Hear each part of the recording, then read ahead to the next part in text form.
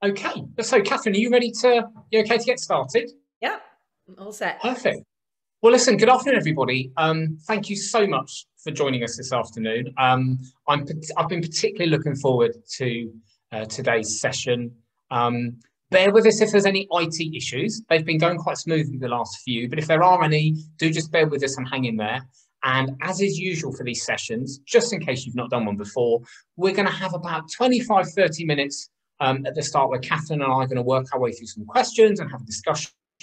And then we're going to allow the second half of our time together um, to take questions from you, the audience. So if you'd like to ask Katharine a question, please submit it using the Q&A um, button at the bottom of your screen. And then uh, my trusty sidekick will be looking at the questions as they come through and then passing them on to me so I can ask them on your behalf uh, when we get to that point of the session.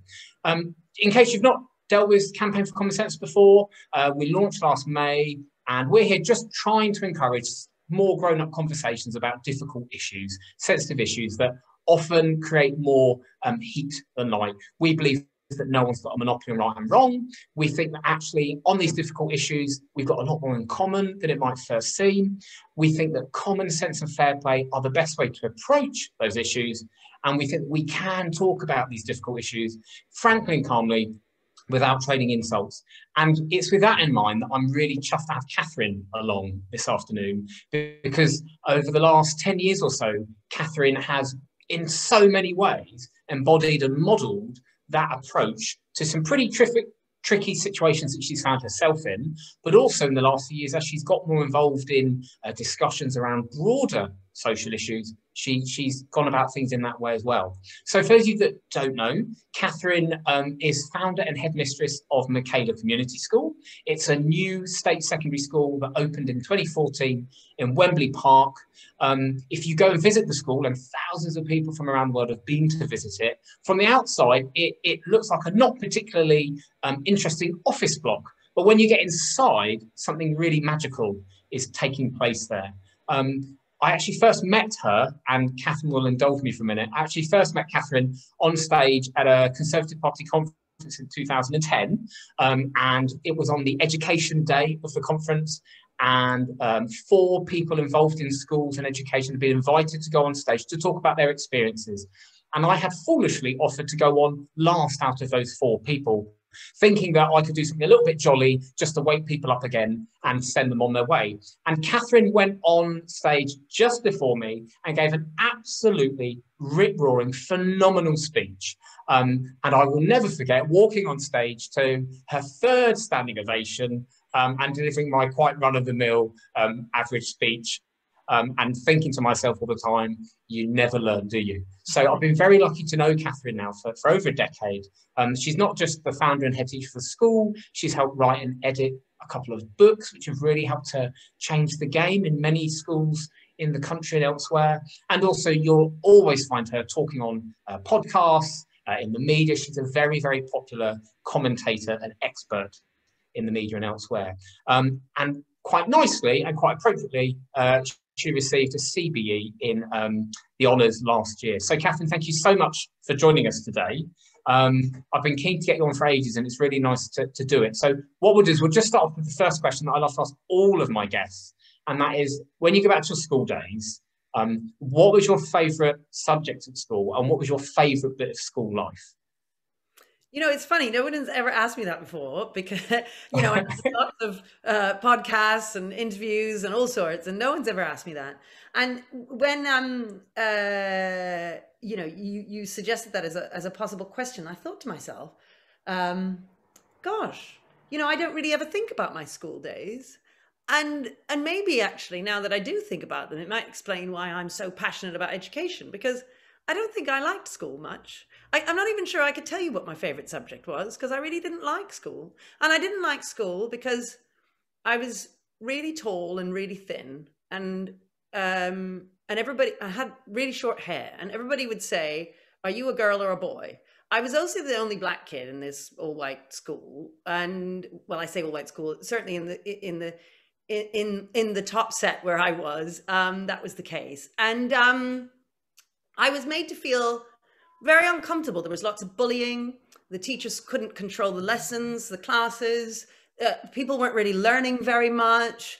There was just constant chaos, and I, and it, it yeah, I mean, I I, did, I didn't really like school, uh, and of course, my experience in teaching after that was to see much of the same in, in, in classroom yeah. after classroom after classroom, you know, in, in various schools, and so it might explain really why I'm so passionate about trying to change education for children because uh, I had one friend I remember, and uh, if she wasn't in, because uh, I worked hard and I was considered to be a bit of a of a neek, and you know, uh, and and so I couldn't be cool, and and plus, as I say, I was tall and not attractive and all that sort of thing. So if she wasn't in, I had no one to hang out with, and I'd just kind of stand around, and it, it's hard for children, I think, at school. So yeah, I, I know uh, that that's my answer to that question. okay, um, but was, was there was there any part of school life, if it wasn't a particular subject, then that you look back on fondly, or is it more actually you look back on it now and you realise what you've done since then is a reaction to that? Um, Were you involved in plays, music, sport, anything like that? Not really. I, I don't.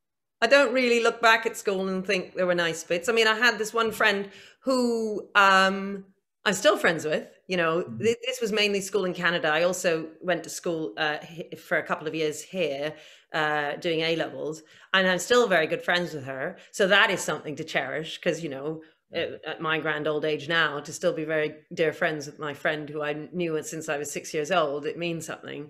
So, um, so yeah, her, I'd say. so, with hindsight, then, do you think that's what got you into teaching? No. No. Okay. No, no, no, not at all. So, what got me into teaching was um, I was at Oxford University, and uh, they would all when you're at oxford and cambridge i presume also you know they, they have these milk rounds and you have to you know they the big companies come along and tell you about mckinsey and what it would be like to be a management consultant or whatever. And i would go along to these presentations and think oh my goodness i couldn't bear doing any of that. So um, and i had been involved in this access scheme which would send uh, at that time, it was about trying to encourage ethnic minority students to apply to Oxford. And they would take ethnic minority students and send them off into uh, various inner city schools, say in Manchester, or Birmingham, or London. And we would uh, talk about our experiences and what it was like to um, be at Oxford. And the idea was that these kids would see you and think, well, actually, look, she's doing all right there. It's okay. I, I can I can apply too. And I would find that when I would uh, talk to the kids, I would change their minds. They would start off thinking, no way would I want to go to Oxford. And then by the end, some of them applied. And so I thought, oh, well, this is a way to make a difference. Uh, and at the time, I thought uh, schools were failing because of typical kind of reasons that the left would kind of believe in, I would say. Stuff like there's not enough money, there's lots of racism in schools, you know, sort of white racist teachers, uh, you know, not not pushing black kids and that kind of thing. And I thought I would go in and try and change things. So um, that was what you know encouraged. That, that was what inspired me to become a teacher. But then, obviously, like once we get into teaching, it is a tough job. And you said yourself, you know, a lot of your experiences in working in schools were not that different to what you experienced as a pupil. So, what was it that made you stick with teaching? Yeah. Um, well, I, know lots of people leave teaching because they um, find it really hard. Uh, I, I, didn't find it so hard. I was sort of like a fish to water. I just loved it um, from the moment I started. Uh, I loved the kids. I, I loved the challenge of, of the classroom. I loved the, it's so hard teaching to get it right. Um, it's so hard to be able to spin all the plates that are necessary. You know, um, you got to keep them eating out of your hand. You got to inspire them at the same time. You got to know your subject. You got to keep the discipline while also making it interesting and fun. And when I say fun, I don't mean in the kind of progressive way of fun, but um, so I, it's really hard. And I like doing things that are hard. Uh, so I loved it from the moment that I started. And I remember, you know, I had this plan when I started that I, you know, I wanted to my original plan in teaching was that I was going to turn around a failing school, and that was right from the start when I began. Um, I, I, I was never gonna. I was always gonna work with disadvantaged kids. I was always gonna work in the inner city. I just loved it. So it wasn't. I wasn't about what made me stick with it. I mean, I can't imagine doing anything else. And it, it was a big problem for me, obviously, when uh, when my, I gave that speech that you mentioned earlier, um, and I was told I would never work in the state sector again because it was my whole life. It, it, I I love it. I, I, it's never been the case that after a holiday that I'm worried about going back to school. I don't ever think, oh God, got to go into school. I never think that. I mean, whenever the holidays come, I'm always ready for them and I like having them yeah. and it's nice to have a rest. But I never have that feeling of, oh my goodness, I have to go to school. And mm-hmm. so I just love it. There's nothing that I love more. So it was really devastating for me, obviously, after that speech when I when I was told, well, look, you you, you can't do this anymore. Because I just thought, well, what am I going to do? you know, it's what I live for. So yeah. And, and that brings actually that brings me on to the next question I was going to ask. So if we go back 10 and a bit years ago, um, you and I, in different ways, were going through rough patches trying to get schools open. So I I was fortunate. I chose to leave my previous job with the support of my then boss, and we were struggling to try and find a site, and we're, uh, we're facing a battle with the local council and the unions and whatever. You were going through similar things, but in a much more high-profile way, I think, and also you'd been kind of squeezed out of a job that you love and then, if I remember rightly, you were you were sort of hoping to set up your school in one part of London, and then I sort of described it as a bit like Moses and Israelites wandering through the desert. You were looking for a homeland. Like again, what kept you going through that time, and also what was it that made it all click and come together in the end for you?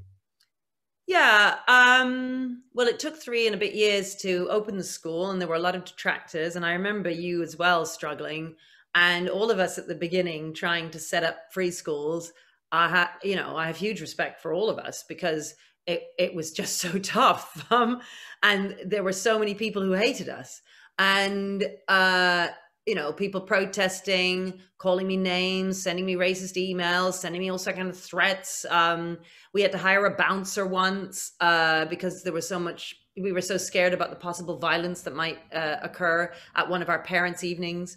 We tried first to open in Lambeth, then we went to Wandsworth. We finally ended up in Brent. Uh, it took, as I say, over three years to open. Um, our detractors did a really good job of, of trying to stop us. And people look back, well, people don't look back. People just see us and think, oh, well, the school has just happened. They don't realize uh, how much determination it took to make to get it to, to open. And frankly, there were so many obstacles along the way. At any one of them, it would have been perfectly reasonable for us to have just given up. And it wasn't just me, it was also our group of governors uh, who at the time were our steering group and were working with me to to, yeah. us, to get us open. And so um, we did have to overcome a lot of negativity. You know, we'd have parents' evenings, people would infiltrate and sit amongst the parents and then stand up and shout at us to stop us from being able to communicate with the parents. I mean, it was awful. And in particular, it was awful when I think about in Brixton, for instance, going around Brixton Market, giving out flyers. These mums would say to me, Oh, so desperate for another choice of school. This is so great. And then they'd turn up to the evening and be shouted down by these people who had been bussed in from outside of London, uh, who weren't even part of the community to stop these people from having another choice of school. Uh, it really is outrageous. And, and, it's outrageous. And, and what's extraordinary is that these people who are doing this, of course, felt that they were doing the right thing. You know, they weren't doing it because they believe them themselves to be bad people. They think that they are good people, and they think that I am, you know, obviously a bad person and need to be stopped from opening up a school. So, um, yeah, that was really hard. But then we opened in 2014 with uh, a group of year sevens, and this year actually is our first year of being full all the way up year seven right through to year 13 so it's our seventh year and it's really exciting because uh, you know our first set of gcse results in 2019 were really excellent. You know progress eight put us at number five in the country and we um we we've done a good job. So uh we get 600 i mean obviously it's covid now so that's not happening but you know normally we get 600 visitors every year mainly teachers from across the country but also all over the world who come to take ideas back to their schools and so on. As you mentioned we've written a couple of books and you know these are books written by our teachers. You know each of them have take, has taken a different chapter and written about what we do. So it's really exciting and it's one of those um we are one of those stories uh, that you know prove the point that you just need to keep going and you keep persevering when things are down, and you know eventually you'll get there. But actually, along the way, as well as persevering, you've had to, you and your team have had to engage with loads and loads of people who, on loads of different issues, who disagree with you. And I said at the start, one of the things that I think is admirable about how you and your team have gone about stuff is that you you you've engaged those people, you've not shied away with it. So, a couple of questions on that. Like, what do you think is the key to disagreeing well with people? Um, I think one of the reasons why people have been uh, persuaded by me, and I do know uh, there have been many, you know, people I meet at places, they say to me, I, I, I never used to agree with you, but I, I, I, see what you're saying now. I've been following you on Twitter for the last three years, and um, over those three years, I've changed my mind. Or they've been to the school for a couple of times, and the first time they came, they weren't really sure, and then the second time they came, and having listened to podcasts of mine or followed me on Twitter or that sort of thing, they've then changed their minds. I think part of it is the idea what I just said, which is that you just keep going. Um, so partly it's keep keeping on going and not allowing yourself to get uh, you know sort of upset or depressed by the negativity. Uh, the second thing is i think people um, especially because i'm tr- i'm i lean to the right so the people i'm trying to persuade are, are those on the left and uh, those in teaching are often on the left. So uh, I think that they uh, are often convinced that people who lean to the right are bad people. You know, they think that they have some kind of motive that's uh, a personal motive for gain, personal gain. And I think if you keep on going, and if it is just demonstrable that you are not doing this for personal gain, uh, they will be convinced, be- partly because they're then open to listening to what you're saying, because they can they no longer think that you're a bad person because if you yeah. start off by thinking somebody's a bad person you're never going to listen to them so i think my kind of commitment to the cause and i just keep saying the same thing over and over and over again uh people eventually in different ways of course people eventually start to listen yeah. and they you serious i think they take me seriously because they see me every day going into school at 6:45 in the morning and never miss a day, you know, like oh it's a bit odd to then start accusing me of this personal gain when I'm obviously in my school working hard for these kids. So um there's that and also I do my best. I mean sometimes somebody might make me annoyed, but I do my best to to just keep ignoring, you know, the haters and to just keep going with the with with what i'm saying you know to be decent about what i'm saying to not be horrible to people even if i disagree with them uh to just keep explaining why i disagree what the reason is that i don't think that you know their position is correct on Twitter, I will do this quite a lot, and I will just explain this is why I think you're incorrect, um, as opposed to calling them names, getting angry, and all that sort of thing. Um, yeah. So what it feels like what you're saying is you've because you've stuck at it and you've gone about it in a uh, you know sort of a grown-up fashion, you've earned the right to be heard. So even where people don't agree with you, you're saying there now because you stuck at it, you know, started listening, and some have changed their minds. But even where they haven't changed their minds, they're at least giving you the respect for what you've done. That's right. So quite a number of people, a number of people, I see this on Twitter a lot, will say, I don't agree with everything that you say, or I don't agree with much of what you say, but I do respect what you do. Um, I respect who you are. That I get that a lot. Yeah. And then in terms of people that you disagree with, but whom you admire or respect, have you got any people that spring to mind in that regard, looking at it the other way around? Yeah, well, my father is one. uh, he's a real lefty. He will, you know, he's always been a real lefty. He's Guyanese. He was great friends with Cheddi Jagan, the old uh, president of Guyana, who considered himself to be an outright communist. Um, you know, they. I don't agree with any, you know, any, any, many of my father's political ideas. Um, but he's an extraordinary man. You know, he grew up without any shoes and uh, came to England uh, looking for a better life for his children, sacrificed uh, everything really in order to give my sister and me a better life. Um, I'm very grateful to him. I have huge admiration for him. I totally disagree with him politically. um, and and that's the thing, you know, you can um, you can be friends with people, you can have family who you disagree with. The key thing is to recognize their humanity, I think, and to recognize that they aren't bad people. They they think differently to you because they have had different experiences um, perhaps because they value different things. My father, for instance, had very different experiences. He uh, came to England in the day when there were, you know, posters in the windows telling him that he couldn't, you know, get a, room in the house because of his skin color and and so on. I mean, he he he had a very different experience, and and certainly in in those days, I understand why he is a man of the left. I totally get it. So I um it's to understand why the other person thinks the way that they do. Um, and he's now 83, you know, he's not really going to change his mind at 83, you know. Um, so, uh, so yeah, it's about being understanding. And I always try and put myself in their shoes and I try to understand why it is they think the way that they do.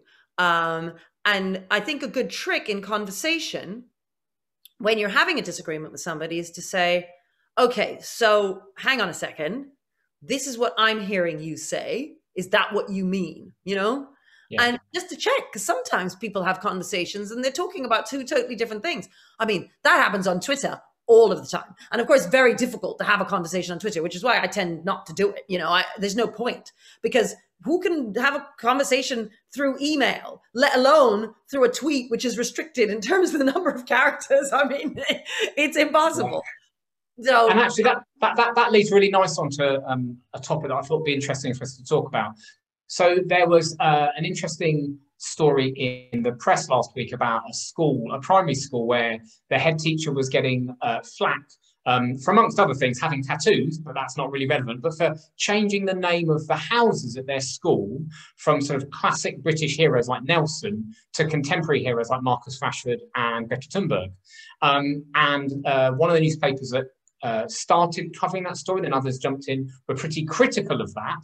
Um, and then there was a lot of um, outpouring of feelings both ways about whether they should have changed the houses um, or whether they should have left them as they were. What do you do about teaching kids about British history? Um, you know, do you cover uh, British heroes, warts and all? And there was quite a lot of feeling on social media and elsewhere about that. What was your take on that particular that particular story? Yeah, it's funny because I saw the story before it became a big thing on Twitter and I saw what he'd done and I rolled my eyes and I thought, oh, for goodness sakes, you know, this is so ridiculous. Um, and then I ignored it.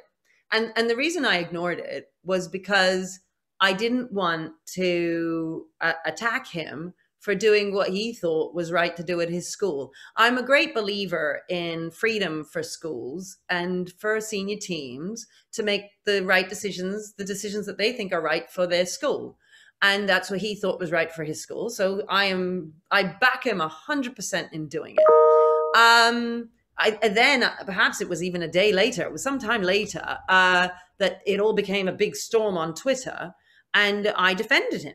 Um, I defended him because uh, I think it is his right uh, to do what's right for his school. Now I understand from people that they say, you know, this was decided uh, with the school community. I mean, I have to say, changing the names of the houses, I mean, people who were really angry about it were saying, this is outrageous. And I was thinking, but it's just the names of the houses. I mean, who cares? That's what I was thinking, you know, like, come on, there's a thousand things going on at school all the time. So what? He changed the names of the houses. Now, I, on the other hand, I also get it why people are upset because it's a symbol, isn't it? And it, it, and it says, uh, especially in this day and age, what it says is uh, Greta's really important, Nelson isn't. Mm. And uh, a lot of people are really fed up of this kind of woke agenda out there, which is all about promoting Greta and doing down uh, s- some of our more traditional national heroes. Uh, now, I am of the mindset that one should be promoting more of those national heroes. Greta is certainly not top of my list for um, you know, admiring. Uh, I find her, uh, you know, a, a, troublesome character. Actually, I think she encourages children to truant. Um, I think you know, I have a lot of respect for her and the things that she's done. Yes, at such a young age, and um, she's very brave, and and I have admiration for her from that point of view.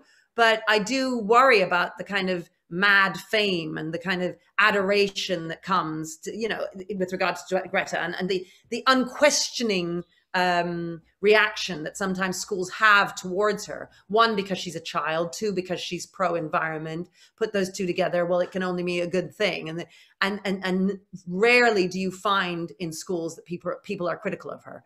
And that is problematic for me because I think children in schools should be taught how to think critically and think outside the box about stuff. And you can't do that if you are being uh, dealt a set of cards that tell you how you should think. And that's what all those people were annoyed about. The, the changing the houses said to them, You're this woke head teacher who's going in there and telling our kids what to think.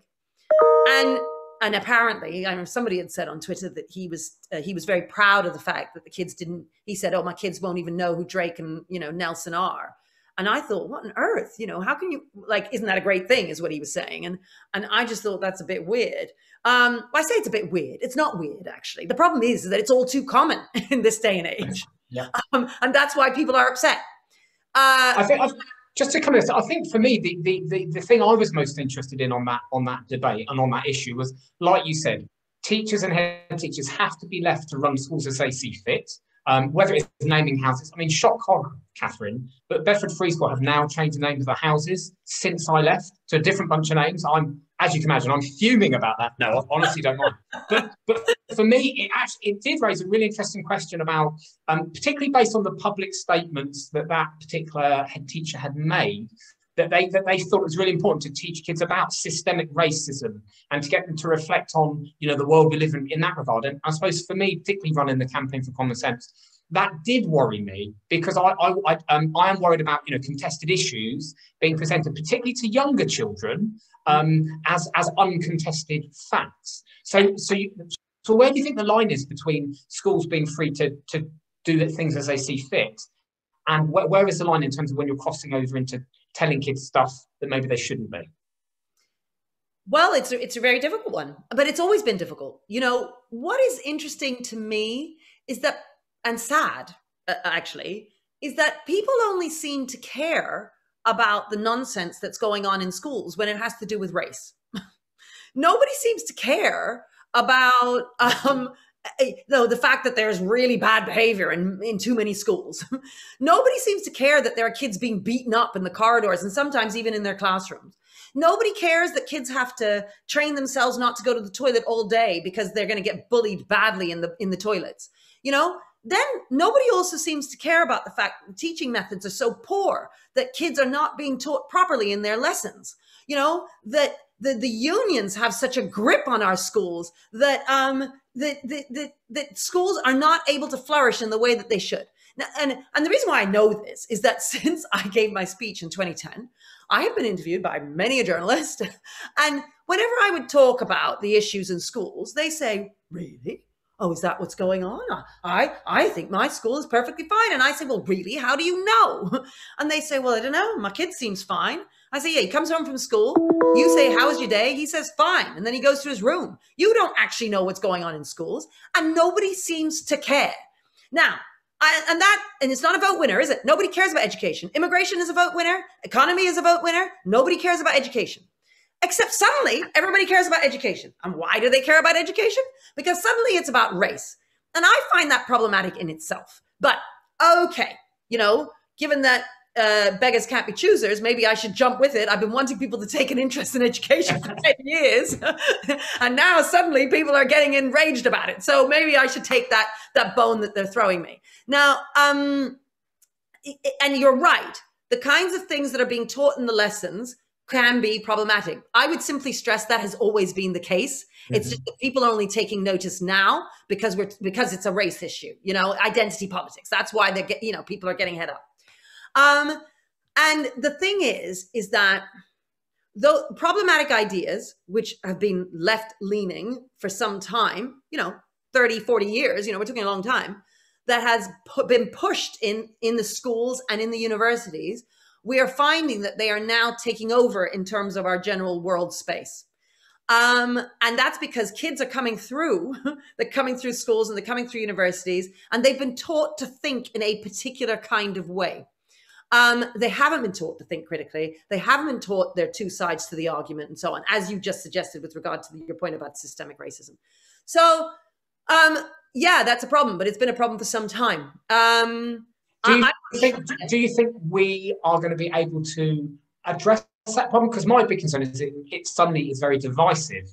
It feels like it's got a lot more divisive in recent years. Do you think we can actually change the way things happen like that in schools, or do you think if it's always been like that, it will always be like that?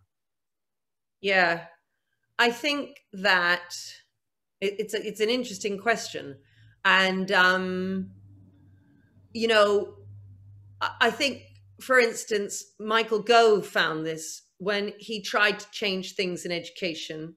Uh, you can't pull a lever in government and then um, all the schools will then just obey. Uh, the thing is, is that teachers are teaching in these schools, and if they genuinely think they're doing good things for the children by teaching them this stuff, then they're going to continue doing it. Um, so it's a question of trying to persuade people that what they're doing might not be helping the very children they want to help. Um, and that requires really a kind of national campaign. that requires a lot more than what is currently going on. And so, no, I don't think things are going to change. I think things will get much worse as time goes on. America shows us what what is the next step. You know, uh, they are obviously much further along in that kind of journey of wokeness than we are, and um, I think that we need to be very wary of where we might end up. Uh, and the problem is, is that governments and politicians you know they have they're so busy doing other things it's very difficult to kind of create some kind of national campaign around this. And and also i imagine that anyone who did so might just get called a racist you know? So it's uh it's a hard one. I, i'm not sure i know what the answer is. And yet the irony is you know it has for a long long long long time um, been within the law that schools have to when they cover political issues do them in an impartial way. And I think the phrase in both bits of legislation is um, if they cover a political issue, they have to give a balance, they have to do it in a balanced way and yes. offer credible alternative viewpoints. Yes. So, and yet still, you know, and I know, and I know certainly from the work we did um, last year at Campaign for Common Sense, uh, particularly from parents sharing resources and lessons and assemblies and newsletters and so on with us. A huge number of schools are absolutely breaking the law in terms of the kind of stuff they're doing. So we've already got the law in place. It's really just asking schools to follow the law. And we'd expect schools to follow the law in health and safety, and we'd expect them to follow the law in terms of safeguarding. Um, why do you think following the law around impartiality is, is seen by lots of people as being different? Well, it's very difficult to be uh, impartial. And especially if you believe that, um, let's take Greta, for example, you know, it, it, that's not a race thing. Uh, it's a good example. You know, uh, climate change. Uh, I know. I mean, I believe in climate change. I believe it's happening. Um, I recycle, and I, you know, I don't know, use Sainsbury's, you know, bags all the time, and go to Sainsbury's with them, and all that stuff. Um, but there are some people who don't believe in climate change. Uh, that those set of people who don't believe in climate change, I, I, I don't think are ever spoken about in schools ever. Uh, children are taught that the environment is, is at risk in these kinds of ways. And these are the things we need to do about it. And actually, we're not doing enough. That's what they're taught. And so, no wonder they're all wanting to march out and they're really worried about it because they don't realize that actually it perhaps is an interesting discussion. Now, I mean, I don't even realize. I don't know much about it. I know there's a bunch of people out there who think that um, there isn't any climate change. I don't really know anything about it. And I don't know anything about it because everything I'm told in the media and so on tells me that there is climate change, and I believe that there's climate change. Um, but, but also, I was going to say, but when it comes to talk, even if kind of the settled view is that climate change is happening and all that stuff, there isn't often a debate in a proper critical way within schools about the different ways we can address it. Again, I think that's my concern. It's kind of like Extinction Rebellion, or you're a climate change denier, rather than like Extinction Rebellion would say this, and that's a legitimate viewpoint, uh, but maybe this government thinks that we should do that, and other people think we should do this. There's not even a debate around that, is there? No, but I, that's because I don't even think we know what that. I don't even know what it is. I mean, to be honest, I don't know what the climate deniers are saying. I don't know. I mean, like, and I don't, I don't think most teachers would know. Uh, like, there's an there's an overarching embedded culture in schools to, to think in a particular kind of way. And if all your friends think, for instance, uh, there is systemic racism or, um, you know, women are oppressed in X, Y, and Z ways, if all your friends think so, if all your colleagues think so, if all the textbooks say so, then how are you meant to think otherwise? I mean, people are blaming teachers, but I don't really know how on earth they're meant to think outside that box. they don't have the materials, they don't have the culture around them, they don't have the people around them. So, you know, maybe uh, some conservative people might like to go into teaching. That would be one option. Uh, I don't see them doing it in droves. Uh, there's loads of lefties who join teaching. Conservatives don't do it. Well, where are you, conservatives? You can all sit on the sidelines and complain all the time. Well, get into schools, you know? I mean, I, I am in there. I'm in schools. I'm doing stuff. I'm fighting this stuff all the time. I'm fighting it on Twitter. I'm fighting it everywhere. Um, what are you doing? I mean, not you, Mark. I mean, I'm saying, what what are the people doing who are complaining all the time? Because it's all very well sitting on your keyboard and writing out your tweets, but what are you actually doing about any of this? You know? Well, that is a perfect point. Thank you, Kath. That's a perfect point to move on to some of the questions from our audience. And if you're watching this and you ha- and you've got a question you'd like us to ask Katharine and you haven't yet done so, now's the time to do it using the, the Q&A button at the bottom. So, Katharine, um, here's a question from Stephen, and we've got quite a few come through. So, um, yeah, let's see how many we can get through. Question from Stephen. What was the, if you could only do one thing, what would be the one thing you would do to improve state education in general? One thing. Uh, I believe that sunlight is the best disinfectant. And I would force all school, schools to be open at all times to visitors to see every classroom. Uh, as it is, uh, many schools are never open, ever, even uh, in October when they're meant to be open during the days for visits for year six families to see what they're like. Uh, obviously, I'm talking about secondary schools, but same thing with primary schools.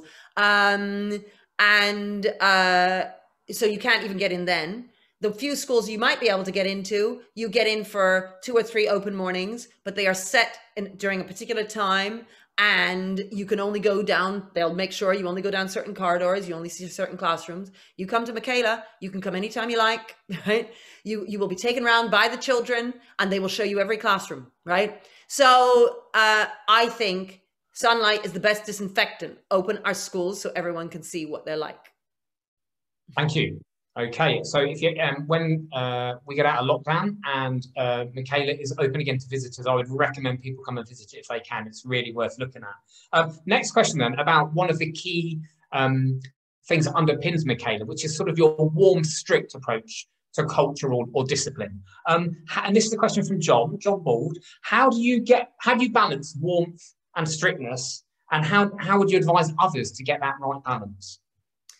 Yeah Okay, so you give out the demerit. Oh, come on, Johnny. You're forcing me to give you a demerit there. I really didn't want to. Come on. That sort of thing. Uh, when you give out the detention or whatever it is, um, you make sure that you have a chat with them at some point. Maybe it's in the detention, after the detention, so you can repair that relationship.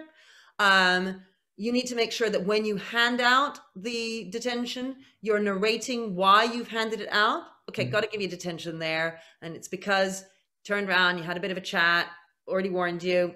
Ah, you leave me no choice. Uh, not only are you narrating it so that Johnny can hear, you're narrating it so the whole class can hear. Um, you don't get really angry in the moment. So notice I'm saying, oh, come on, da, da, da, and you're kind of jokey about it and you're nice about it, um, but you're still holding the line. So you're not allowing them to get away with it and saying, oh gosh, I'm just going to let it go. You're being nice and friendly about how you do it but you are holding the line. And so, and over time, that consistency will build a respect for you, and the children will understand what they what you what what you what you expect of them. I would also suggest that you make your rules really clear at the beginning, um, so that they know how to please you and they know what will displease you because it can be really difficult uh, for children in schools where there's a whole variety of practice from classroom to classroom so it's important that you make it clear that in your classroom these are your expectations and this is what will happen if you do x and this is what will happen if you do y so it's not just what you do around warmth and strictness but how you communicate what you're doing and how consistently you do it. I think that's what you're saying, isn't it? Yeah. Yeah. Brilliant. Thank you. Um, moving on then, here's a question from someone called Kieran. What perspective advice do you have for those who are applying for a PGCE um, this autumn? Yeah, well, you know, sadly it's COVID, so you can't go out. I was about to say you need to go out loads right now because when you start, tell your friends they're not going to see you for the next three months. um, you know, and I'm being serious. You tell them all, I'm going under. You're not going to see me. It was really nice being friends with you. I'll see you in January. And um, you are going to work really, really hard. You must go to bed at nine o'clock every night. Um, uh, don't take things to heart uh, when I mean, I say in January. Actually, with the PGC, you won't really get into things probably until October, November. So maybe it's from October, November that when you're in your schools. I mean, really from when you're placed in your schools. Um, and love the kids. You know, when the kids uh, are mean to you, and they will be, um, don't don't blame them. You know, it's just the way that it is. I mean, what I mean by that is kids are kids. They will push back if the school that you're placed in doesn't have really tight behavior systems, they will be rude because they've got used to being able to be rude. So it's not you, it's not them. You just need to win them over. And the way you win them over is you just keep on going. And um, you're inspirational and you tell them that you love them and you might not feel comfortable saying i love you but you could when i say you tell them that you love them you mark their work you uh, get enthusiastic about stuff they've done well um, you give them gold stars you know? You, you, show them that you love them. You ask them about where they got the haircut or what they you know who which football team they support or whatever it is um, and you get to know them and uh, and keep going. It will get better. It's very very hard at the beginning, but it does improve with time. Thank you. I think that's really really useful advice. Um, actually, not just for people starting their teacher training, but people early on in the in the career. Full stop, isn't it? It's just yeah. and a bit about a bit about go out now, so you because you're not going to be going out when you get in there. Very very true. Um, we've got a couple of like similar questions here. Now, so I've got one here from George saying, "Do you think the government should prohibit um, critical race theory and associated things at school. And then another question from someone who didn't give their name saying, um, What do you think about um, queer theory and identity, gender identity stuff like Stonewall? Do you think that should be taught in school as well? Yeah, I mean, I don't think these things should be taught in school. Whether or not uh, the government should ban them from being taught in school, I'm not sure. I I don't like I'm I'm I'm a freedom lover, so I don't like the idea of banning things. You know, I don't like the state coming in and banning. On the other hand, I understand why you're asking because it is a real issue. The the thing is is that people need to be persuaded.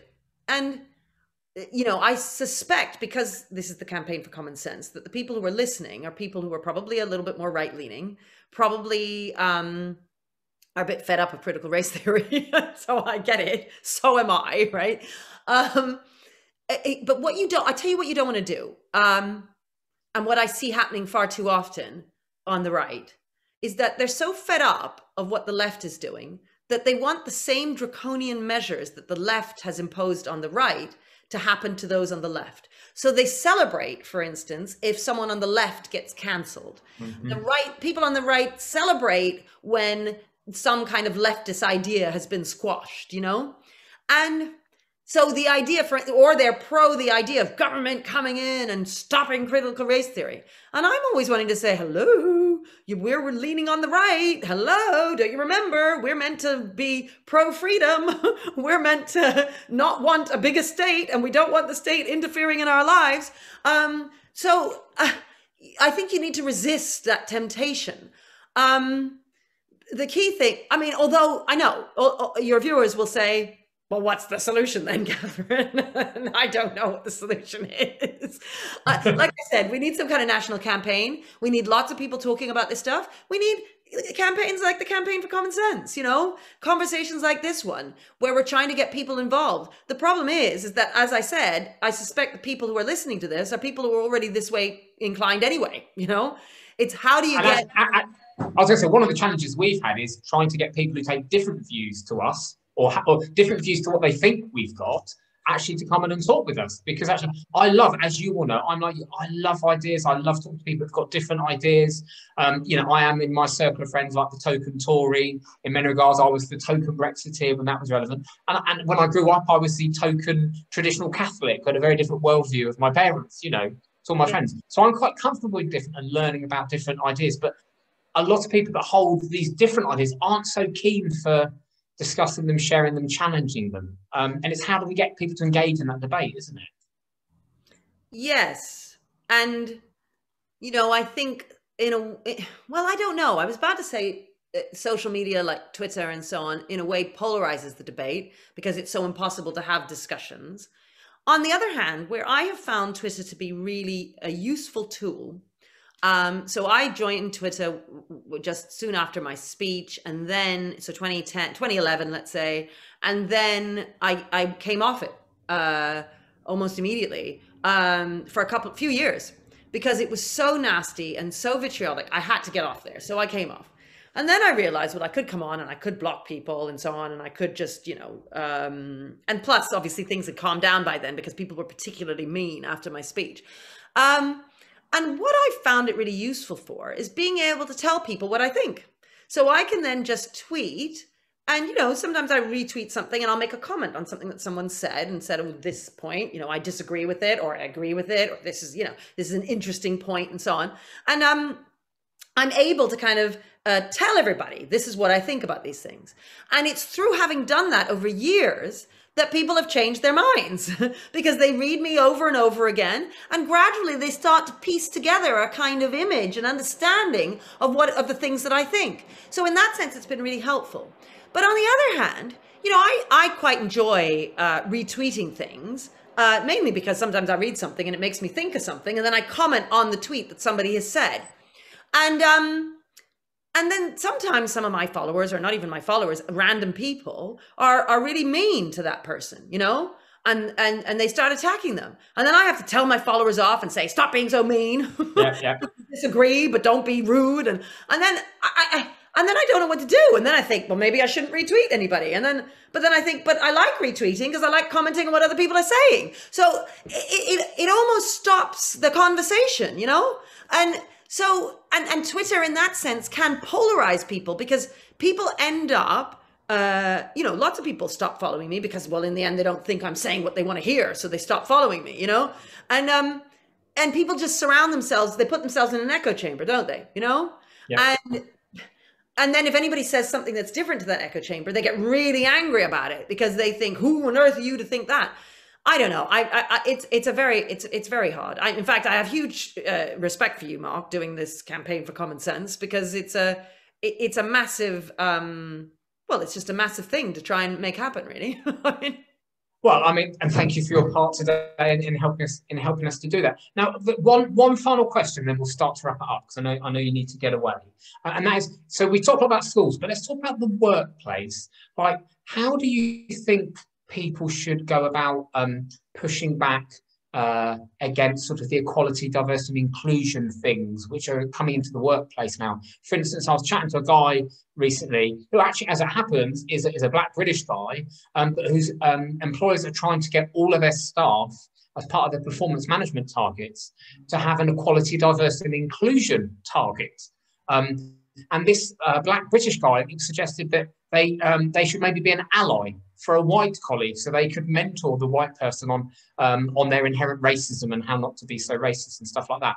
Have you got any thoughts? Because you know you've been you've been commenting on lots of different issues over the years but you know including uh, the issue of race. Have you got any suggestions about how people can politely uh, push back against these kind of things in the workplace? Yeah.